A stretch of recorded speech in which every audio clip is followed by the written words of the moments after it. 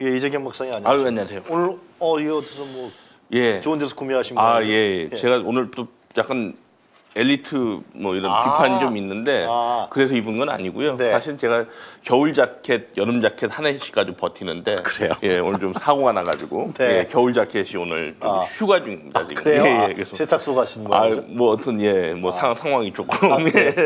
어머니 가져가신 거 아니에요? 아, 예, 예. 안 그래도 어디 찾아와야 되는데. 아, 예. 아. 양해를 좀 구하겠습니다. 그 아, 예. 보기 좋습니다. 예. 아유, 예, 예.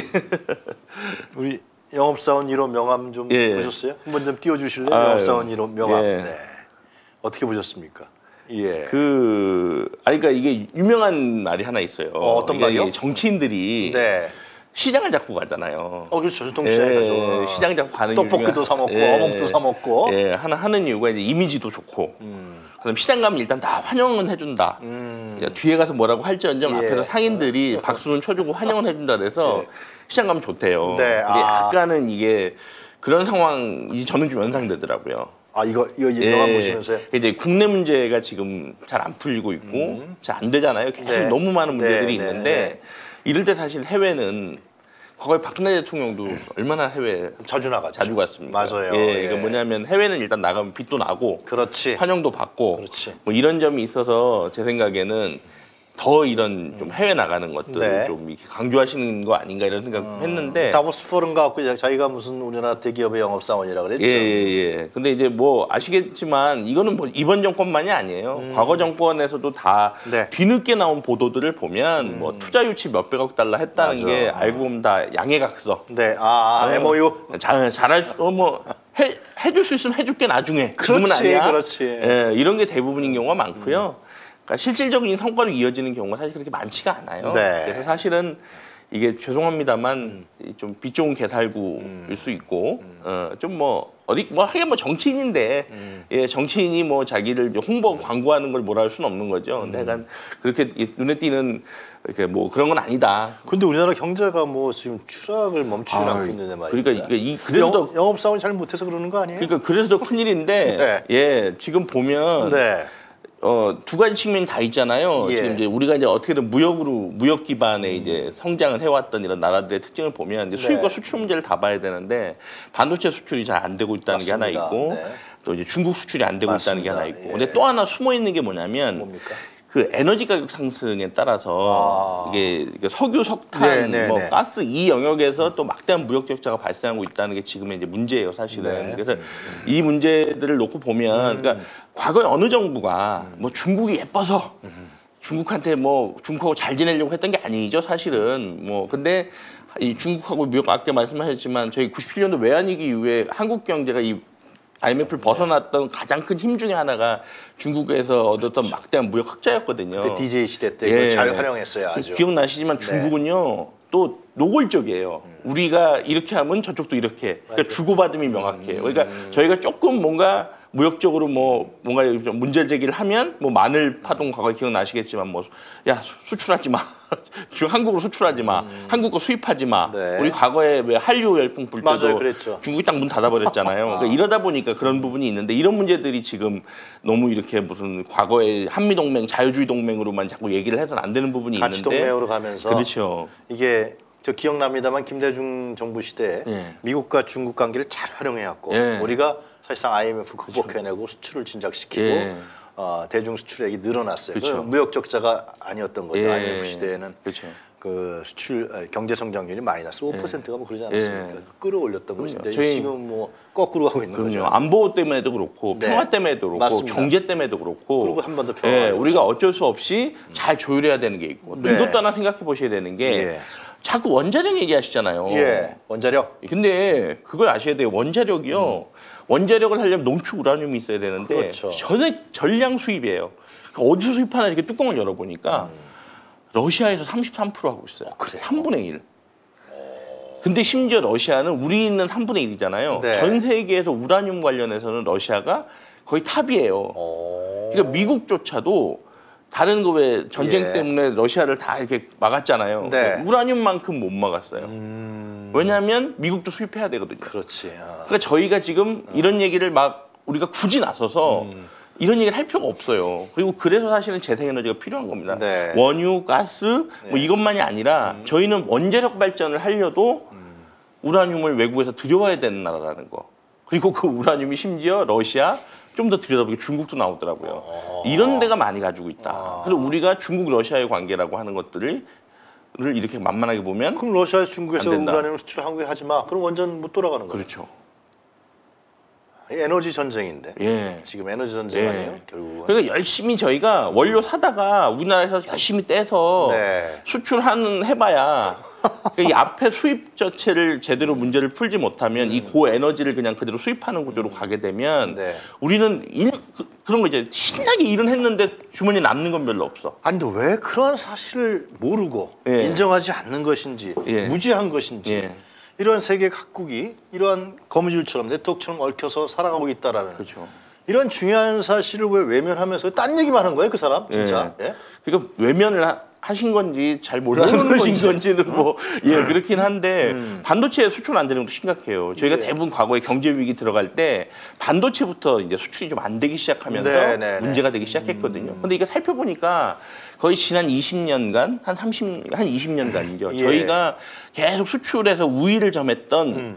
시장에서 여전히 저희가 우위를 점하고 있어요. 근데 이건 뭐냐면 아시지만 과거에 무슨 말뫼의 눈물 이런 거 어, 예, 기억나시죠? 예, 뭐 예, 스웨덴이 예, 우리한테 예. 왜 음. 조선 소위 크레인 뭐 예, 뭐 예. 1달러에 팔고 저희가 이게 언제까지나 이걸 계속 강국이 될 수는 없거든요. 언젠가는 후발국한테 뺏기게 돼 있는 거예요. 음. 네. 그래서 저희도 사실은 그래서 IT로 간 거고 예. 음. 4차 산업혁명 해야 되는 거고 뭐 이런 것들 AI 해야 되는 거잖아요. 네. 근데 이런 것들이 별 변화가 없었다. 그 아까 말씀하신 것처럼 에너지 문제도 그렇고 이런 산업 정책의 문제도 그렇고 언제까지 반도체 20%입니다. 수출의 20%를 반도체가 차지하고 있어요. 너무 의존도가 높아요. 하여튼 아 오늘 경제 얘기 예. 너무 많이 하면 좀 경제 얘기는 좀 다음 주에 한번 아, 예, 예, 예, 종합판으로 예. 한번, 알겠습니다. 네, 예, 예, 예, 경제 예. 위기가 왜 예. 이렇게 됐는지 그 원인은 무엇인지 예, 예, 예. 그것이 서민 경제와 생활 경제와 어떻게 연결되는지 네. 이지금 박사님이 또 음. 내가 너무 많은 거 항상 주문하는 거 예. 있습니다. 오늘은 이 사법부 문제인데요. 예. 예. 굉장히 중요한 얘기죠. 먼저 그 프레드 로델의 말을 준비하신 것 예, 같은데 예, 저희가 예, 먼저 예. 화면을 한번 예. 띄워보도록 하겠습니다. 네. 저주받으리라 너의 법률가들이요. 예. 아유, 저 뭐, 읽으시겠습니까? 어, 예. 너무나 말이 좋더라고요. 예, 부족 시대에는 주술사가 있었다. 음. 중세에는 성직자가 있었다. 그리고 오늘날에는 법률가가 있다. 어느 시대에나 자신들이 갈고 닦은 특수한 지식의 권위를 지키기 위해 기술적 수법에 뻔뻔하고 음. 그럴듯한 말장난을 첨가해서 인간 사회의 우두머리로 군림하던 영특한 무리들이 있었다. 영특한 물이. 예, 아, 어느 시대에나 그 직업적 속임수가 문외한들에게 발각되지 않게 숨기고 당대의 문명 사회를 자기들의 방식대로 운영하던 사이비 지성의 독재 체제가 존재했다. 예, 아우 저는 뭐이 문구 발견하고 네. 어, 어떻게 발견하셨어요? 약간 전율이 아유 예, 뭐 공부 많이 하고 있습니다. 예, 저주받으리라 너의 법률가. 예, 책- 아유 책 제목도 얼마나 이렇게 예. 근데 이 오랫동안 그 이건 뭐 저희가 아니잖아요. 서양인데 서양 유럽이나 미국에서도 이렇게 법률가들에 대해서 가지고 있던 인식이 이렇게 좋지 않았다는 거죠. 네. 그러니까 잘하든 잘못하든 법률가라고 하는 자리가 이렇게 비판을 받기가 쉬운 자리. 음, 그이 말은 바꿔 말씀드리면 네. 그만큼 잘해야 되고 조심해야 되고 정말 자기 성찰을 엄청나게 많이 해야 되는 자리. 근데 지금 오늘날 이 이 이 로데이라는 이 이분의 말씀이 오늘날 한국의 사법부 검찰을 설명할 때 진짜 얼마나 맞아떨어지고 있습니까? 이거 부인하시는 분이 얼마나 있을지 아, 모르겠는데. 일단 저는 예. 개인적으로 기분 나빠요. 예. 왜 우리 국민이 한 일을 예. 그들 몇 사람들이 예. 뭐 좋은 대학 나왔다고 고시 봤다고 맞습니다. 사실은 사법고시라는 게 뭐 어떤 분은 구수까지 했지만 예, 네. 예, 예. 암기하는 거 아니겠습니까? 그렇죠. 저는 뭐 사법고시는 준비는 안 해봤습니다. 예. 네. 암기하는 건데 예. 그 저런 사람들이 물론 그렇지 않은 분들도 상당히 있습니다만 예.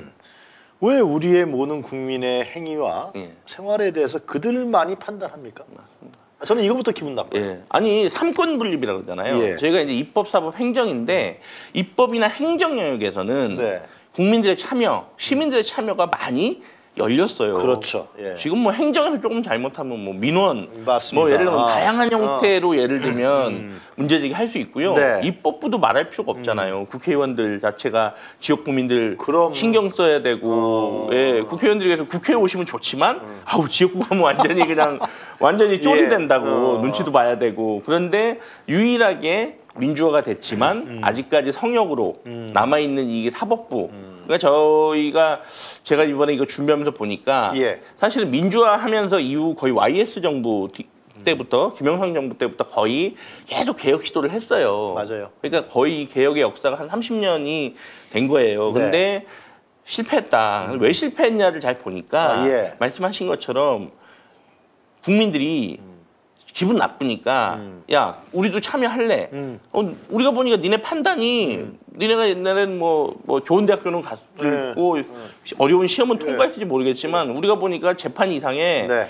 아니 내가 뭐 잘못한 것도 별로 없는데 조사 받으러 갔지만 막 책상 쾅쾅 내리치고 막 예를 들면 아. 뭐 옛날처럼 고문은 안 하지만 뭔가 이런 문제 제기를 좀 하면서 예. 우리가 직접 좀 사법부도 이제 우리가 좀 껴야 되겠어. 음. 끼는 차원이 아니라 이제 우리가 조금 예를 들면 역할을 해야 되겠어. 음. 라고 하는 방식으로 가지 않으면 네.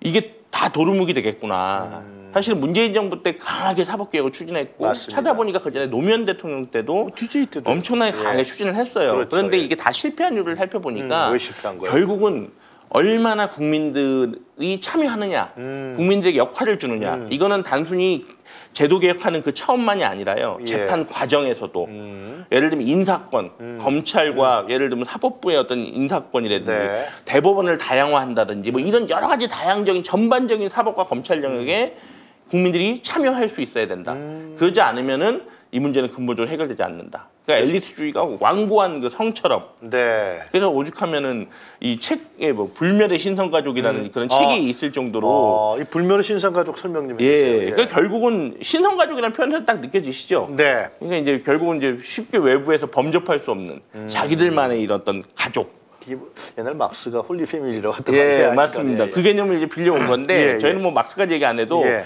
이게 저희 국- 국내 나와 있는 출간돼 있는 또 책 제목이기도 하거든요. 네, 네. 자기네들끼리 그또 하나의 가족을 이루고 피는 안 섞였지만 네. 그리고 거기에 또 뭐냐면 아 우리는 엘리트야. 음. 우리끼리 우린 우린 무조건 맞아. 우리끼리는 야 우리끼리 하는 건 잘못이 아니야. 뭐 이런 것들을 한다든지 예. 음. 그 다음에 또 여기에 또 아시겠지만 이 법조계라고 하는 영역 안에서 이제 보니까 평판이 되게 사실 우리 세상이 다 평판 중요한데 맞습니다. 예. 특히 이제 여기도 나름의 하나의 이제 시장이라고 놓고 봤을 때 평판이 되게 중요한 시장이더라고요. 음. 네. 그래야 나중에 나가서 정관이어도 맡을 수 그렇지, 있고, 그렇지. 예, 로펌에 가서도 아, 좋은 어, 내가 판사 검사할 때 좀 봐줘야지. 약간. 예, 이런 것들이 또 돼야 되니까 이게 맞물리면서 우리끼리는 괜찮아. 라고 하는 부분들. 음. 이제 이런 게 생겨난 거죠. 그러니까 곽상도 50억. 음. 여기 검사잖아. 예를 들면 뭐 김만배 김만배 녹취록 이런 거 보면 나오잖아요. 네. 다 결- 결국은 법조 출입 기자.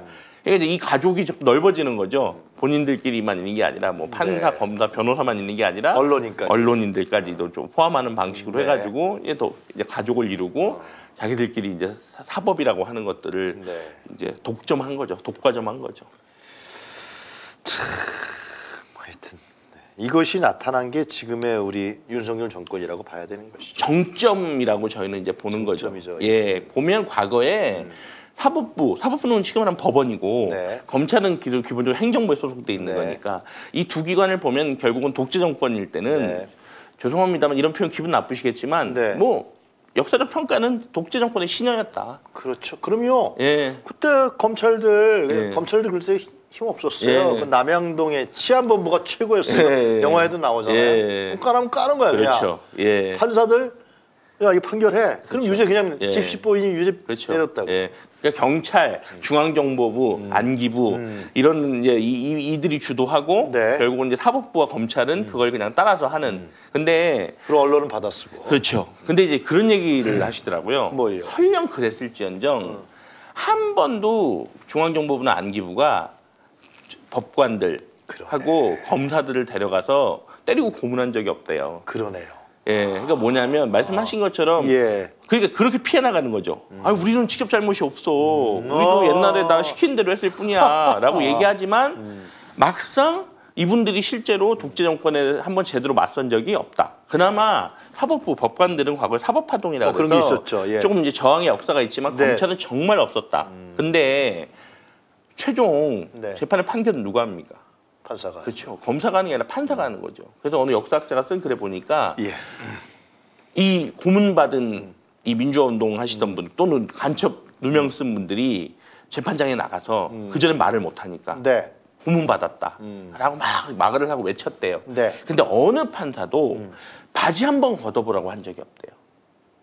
그러면 이렇게 얘기했답니다. 네. 오로지 그 쉽게 말하면 피의자라고 해야 되나요? 예, 오로지 그 증언밖에 없기 때문에 이거는 증거로 쓸 수가 없다. 그래서 고문 고문이라고 하는 거 인정할 수 없다. 음. 지금은 뭐 야당 대표를 지금 고- 수사할 때는 온통 증언밖에 없던데 네.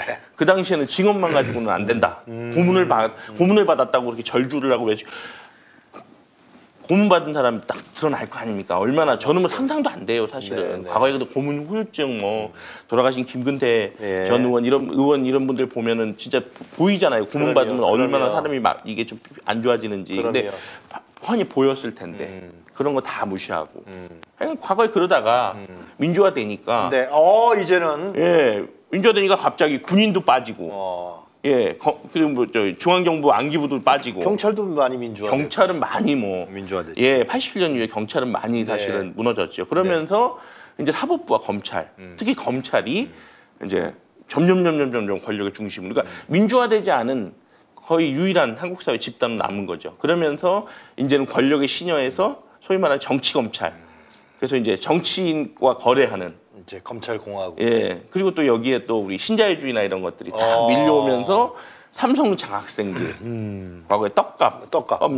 많이 음. 예, 그다음에 이제 나가서 잘 봐주고 또 나가야 또, 그렇지. 예, 거기에는 제 생각엔 예. 대형 로펌이 또 있는 것 같아요. 그렇죠, 예, 대형 대형 로펌들이 이제 맞습니다, 청담동 술집 예. 뭐 아니라 그러는데 예, 예, 예. 거기 대형 로펌 그렇죠, 변호사들이 딱 예. 포진하고 있는 거 아니에요? 그렇죠. 거기서 나갔다가 맞습니다. 들어왔다가 예. 진출했다가 예. 들어왔다가 그렇죠. 딱 대형 로펌에 잘 예, 장악하고 있고 그 로펌에 딱 있다가 음. 또 어, 떻게 또 정부에서 불러주면 정권 교체돼서 어. 그럼 갑자기 고위직으로 갔다가 예를 들면 뭐 한덕수 국무총리 같은 분들이 그렇죠. 지금 그런 케이스죠. 케이스죠. 어. 예예예. 그렇게 하면서 네. 결국 국가 권력이라고 하는 것들을 뭐 입법, 사법, 행정 삼권 분립이라고 얘기하지만 네. 지금은 어떻게 보면 사법부 독재일 수도 있습니다. 왜냐하면 지금 행정부에 음. 온통 사법부 출신들, 판사, 검사 출신들이 지금 대거 들어가 있는 거죠. 들어가. 상장에 탄핵당한 행안부 장관 이상민 장관도 이상민 판사 출신이죠. 판사 맞아요. 그렇죠. 뭐 법무부 장관 말할 것도 없고 이렇게 되어 있죠. 아까 말씀드린 것좀 말씀하신 대형 로펌에 그냥 정통 관료였을지언정 예. 대형 로펌의 고문으로 있다가 국무총리가 돼서 오셔요. 그럼 이런 분들도 결국은 알고 보면 다 그 사법의 그 논리라든지 이런 것들 거절할 수 있겠습니까? 입법부 말할 거 없습니다. 국회의원은 무진장 진출했어요. 예, 국회의원은 그 그놈의 그 유명한 아 제가 표현 죄송합니다. 율사 출신이라고 말하는 애매하게 표현하지만 어디 법대 출신들. 예, 결국은 전부 다 판사, 검사, 변호사 출신으로 구성돼 있는 그러니까 법 법에 기반돼 있는 그러니까 이분들 물론 개별적인 성향도 다르고 정책 입장도 다르고 좀 진보적이고 보수적이고 아니 뭐 술도 잘 먹고 예. 뭐 골프도 잘 치고 뭐 이런 인간적으로는. 있겠죠. 어. 그렇지만 우리는 매번 뉴스를 보죠. 누구랑 누구랑 무슨 사법연수원 뭐 동기래더라. 이번에도 뭐 헌법재판관이 뭐 뭐죠 윤석열 예. 뭐 동기래더라 뭐 이런 게. 나오잖아요. 그러니까 뭐냐면 과연 신성 가족인데 또는 신성 가족의 맛을 봤던 분들인데 이런 그렇지, 것들을 그렇지. 제대로 사법부 개혁을 하고 거절을 할 수 있겠나? 그러니까 입법부도 이 법 출신들, 사법 출신들이 잔뜩 지금 대통령이 서울법대 출신 아닙니까? 예. 그래서 이제 구수해왔고 하여튼간에 뭐 검사검을 했고 그다음에 김명수 대법원장도 서울법대 그렇죠. 출신이죠.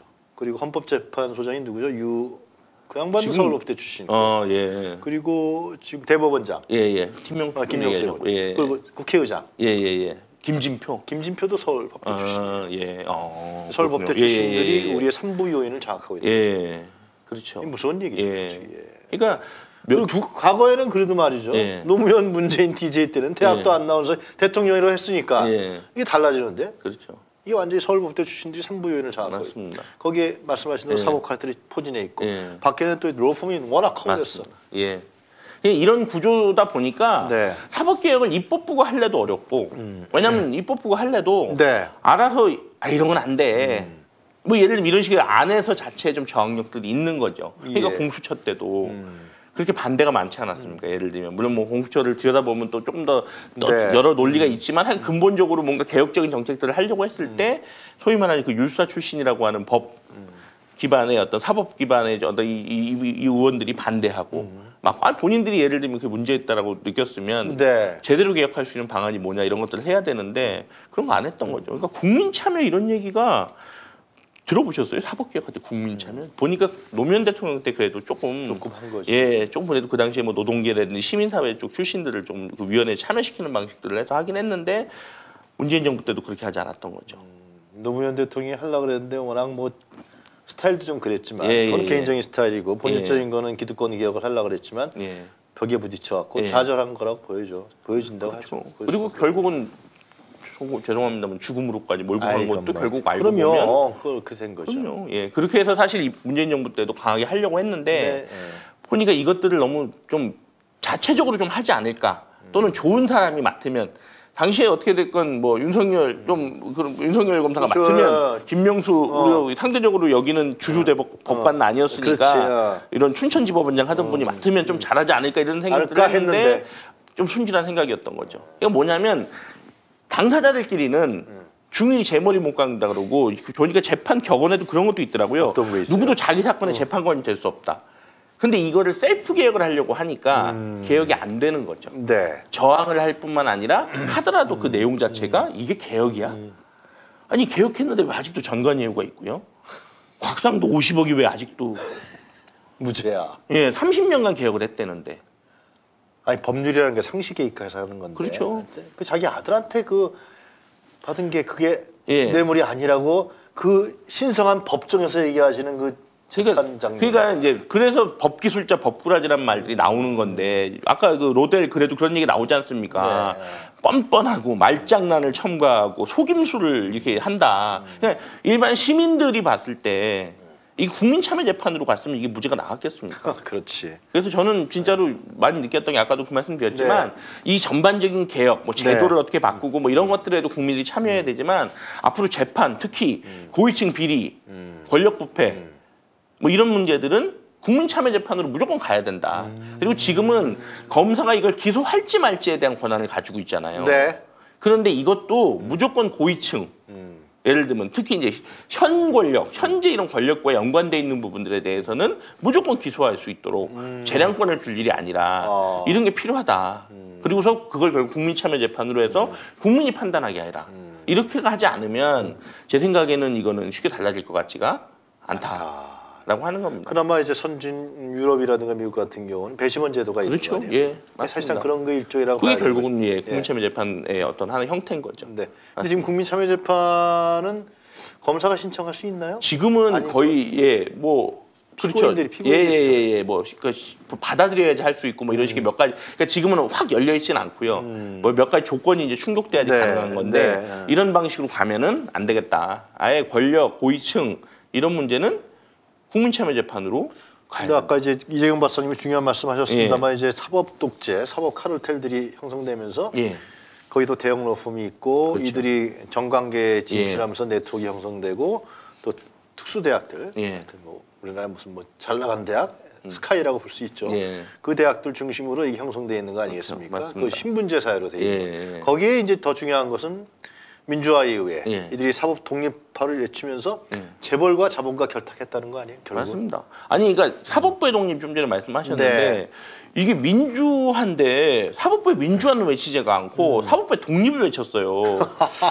이게 시대가 지금 검찰의 독립. 예. 어, 그 외친 예. 사람이 대통령 됐잖아요. 예. 근데 이제 제가 이제 저희가 말씀드리고 싶은 게 예.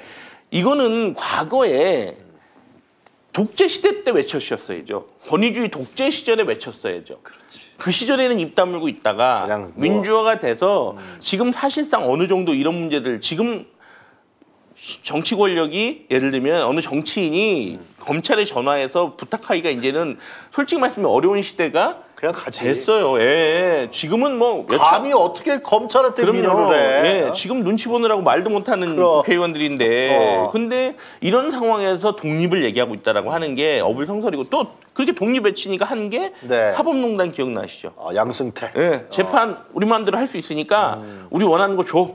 우리도 니네 원하는 재판 해줄게. 거래한 거 아니에요? 예, 이런 식으로 하고 정치 권력과 거래한 예, 거지. 야. 독립하겠다고 얘기하면 아니 독립했으면 우리 자유민주주의 국가라며요. 네. 그러면 자유민주적으로 해야 될 거 아니에요 사법부 안에를. 근데 마음에 안 들어 무슨 뭐 무슨 인권법 우리법 연구에 마음에 안 들어 그러면 네. 다 사찰. 쟤뭐 하는지 다 적어. 뭐 사찰만 하는 게 아니라 더 교묘하게 야저 중에서 조금 좀 시끄러울 것 같은 애들은 좀 좋은 자리 줘가지고 예를 예, 들면 예. 뭐 포섭해 이런 식의 말도 안 되는 음. 협, 협잡 그게 이제 죄송한데 이게 머리가 좋아서 이런 걸 더 잘하시는 건지 는 모르겠는데 그러니까 이, 이 말이 안 되는 일들을 하는 거야 독립이라는 것 자체도 민주화 이전에 얘기했어야 될 거고 그렇지. 지금 설령 오케이 독립을 얘기한다고 해도 그러면 그걸 잘해야 되잖아요. 근데 맨날 보면 그 인사 문제가 내부로 시끄럽고 결국은 대법원장 또는 이쪽은 검찰총장이 마음대로 자기 마음에 안 드는 뭐 네. 예를 들면 판검사들을 찍어내리고 막 사찰하고 이런 식으로 할, 하면 이 뭐, 뭐 독립이 왜 필요한 겁니까 사실은? 근데 이런 여러 가지 의미로 봤을 때도 네. 말이 안 된다는 거죠. 그리고 하여간 사법부의 독립이라는 개념은 또 말이 안 되는 게 외부에서 뭔가 재판에 개입하려고 할 때 그렇지. 그럴 때 독립을 외치는 거지. 자기네끼리. 그냥 우리끼리 할래요라고 하는 독립은 아까 월급 얘기 하시는 것 같더라고요. 네, 월급 예. 어디서 받으세요? 예. 월급 누구한테 받으시냐고 지금. 이재용. 예. 이재용한테 받. 아니 그러니까 결국 국민들의 세금으로 받고 있고 그러면 우리 민주주의라고 하는 우리 틀에 바뀌어야 되는 거죠. 근데 갑자기 독립 근데 여기서 도만한 독립은 그냥 우리끼리 알아서 잘 폐쇄적으로 나쁜 짓 할게라는 식으로 가면 그런 독립이 왜 필요하냐는 거죠. 이거 어떻게 해야 됩니까? 이제 근데 이제 윤석열 시대 아니, 윤석열 시대는 아니지. 윤석열 정권에 들어와갖고 예. 이게 더 명확하게 드러나는 거예요. 예. 국민들이 예. 아, 검찰이란 정체가 무엇이고 예. 이번에 곽상도 무죄 사건에 통해 갖고 사법부는 무엇이고 그들의 지배 카르텔들이 우리들을 어떻게 옥죄고 우리 생활을 옥- 옥죄고 예. 우리 사회를 지배하는지 대대로 먹고 사, 잘 사는지 음? 이게, 그러니까- 이게 드러났는데 이거 어떻게 해야 예. 됩니까? 아니 일단은 저희가 촛불 시민들이 네. 모두 이제는 인, 모두 이제 인정하시고 다 이제 약간은 좀 애매하지만 이제 명확해지셨을 것 같아요. 네. 그러니까 우리 사회의 개혁, 네. 촛불이 정말 촛불 개혁, 촛불 혁명을 제대로 하기 위해서는 지금 남아 있는 게 사법부다. 더 많은 일들을 해야 되죠. 그렇지만 네. 우리가 생각해 보면 어느 정도 경제 민주화라고 하는 경제 민주화도 박근혜 때 예. 얘기는, 나왔어요. 예, 논의도 좀 됐고 뭐 아직 많이 부족해서 더 해야 됩니다만 그래도 옛날보다는 복지도 조금은 됐고 예. 물론 앞으로 갈 길이 멉니다만 네. 그리고 이건 이제 어느 정도 이제 의제가 돼서 네. 가고 있어요. 네. 그런데 거의 제자리 걸음, 거의 진도를 못 나간 게 뭐다? 사법 개혁이다. 근데 이들은 무기를 갖고 있잖아요. 예. 과거에 군인들이 총각칼을 갖고 있듯이 맞습니다. 이들은 기소권, 예. 응? 그리고 판사의 예. 어떤 그 법원에서의 그렇죠. 판단권, 예. 이러한 무서운 무기를 갖고 예. 있단 말이지. 여기에 꼼짝달싹 못하는 예. 거야 지금. 그러니까 디테일하게 아까 말씀하신 것처럼 예. 일단은 지금 검사에게 너무 집중돼 있는 이 형사재판 전반의 어떤 이런 권한들을 어떻게 잘 음. 네. 예를 들면 쪼갤 거냐 쪼개는 건 해봤어요.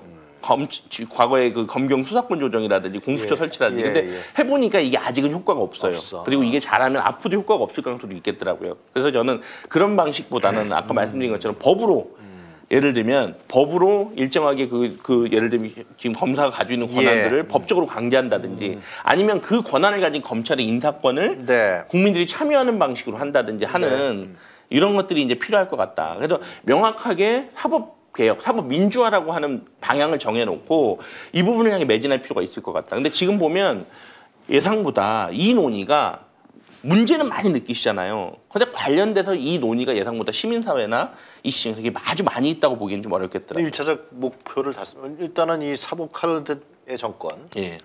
이 포위된 정권, 윤석열 정권이 내려와야 네. 이 부분이 적극 논의가 될 거예요. 예. 그 논의가 못되게 할 거 아니에요. 예. 이정근 박사님 이렇게 얘기하면 어 저놈 봐, 어 저 뭐야, 예, 예, 우리 예. 신성 가족을 해쳐.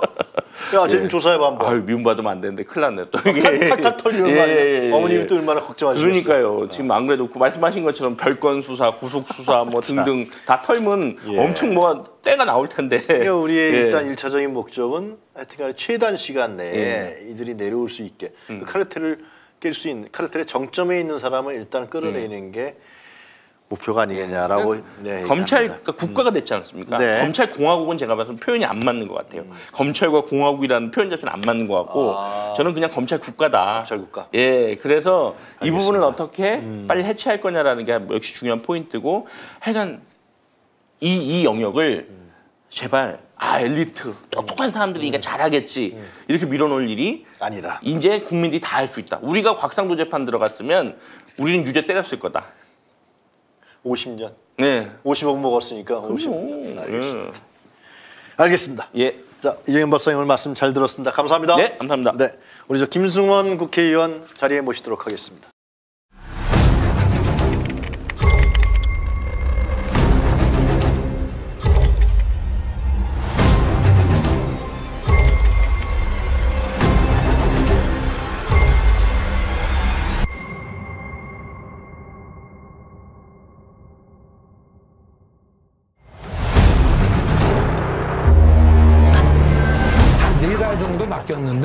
손실을 봐서 저희 집사람은 거기서 안 되겠다. 그 사람하고는 절연을 했습니다.